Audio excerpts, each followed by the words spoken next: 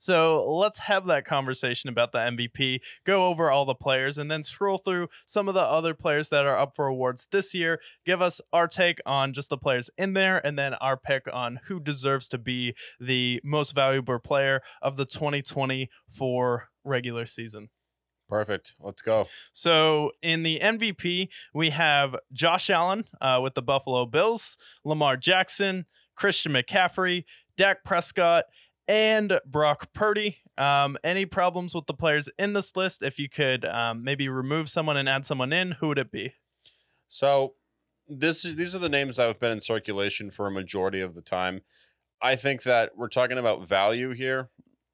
I think Dak Prescott you could replace with CeeDee Lamb. That Cowboys team, CeeDee Lamb had one of the greatest runs of wide receivers of this past season, and I think he deserves a spot there. Um, you can throw in Tyreek Hill in the mix here. You can throw in maybe a defensive player. I know Yeah. Myles Garrett was in the conversation for us for a while when he was really ripping it up. TJ Watt as well. Um, but if we're looking at just strictly quarterbacks, I think even though he didn't have as great of a season, you can still throw in someone like Patrick Mahomes. Look about how much he elevated his team. Yeah. Um, but as far as Josh Allen, Lamar Jackson, Christian McCaffrey, I have no issues with them guys here. If you want to put Dak Prescott in because of the numbers, fine. Brock Purdy, fine. But I think that it's really between. I would have picked between Lamar and Christian McCaffrey here.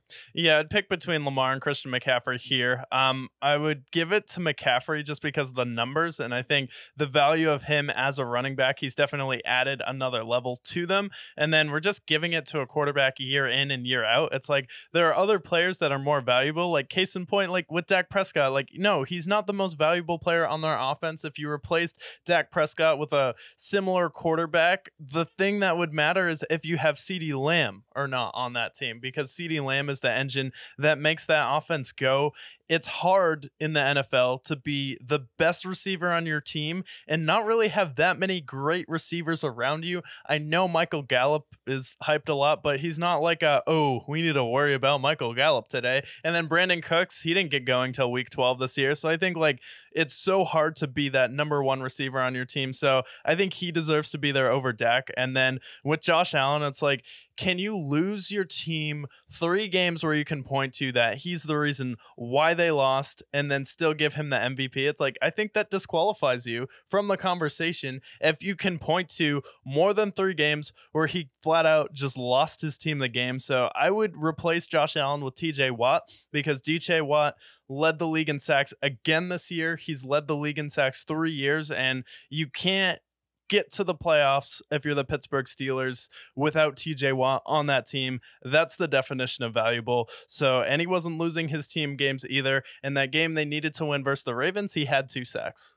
Yeah, I think that that's fine there. I think that ultimately Lamar Jackson will win.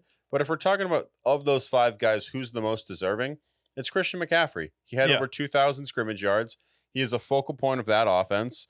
And I think he really elevates that game for someone like Brock Purdy and for everyone else around him. Yeah. So of those five, I think it should be Christian McCaffrey, but it's going to be Lamar. Yeah, yeah, and I don't think this should be like most valuable player in the league, best stats in the league, and I think strength of schedule should be a factor. And I think if you look just on their strength of schedule, the odds that they're up against this season and where they ended up, you should put CJ Stroud over Dak Prescott because he's the definition of valuable. Everyone who watches football is like, oh, he's clearly more talented than him. He had less talent around him. He was walking into a franchise that people called a dumpster fire. And then they made the playoffs and won a playoff game the first year against the Cleveland Browns, who Mhm. without him just kicked their ass in Houston. And then he came back. You insert him in the lineup, and then suddenly they win in a blowout.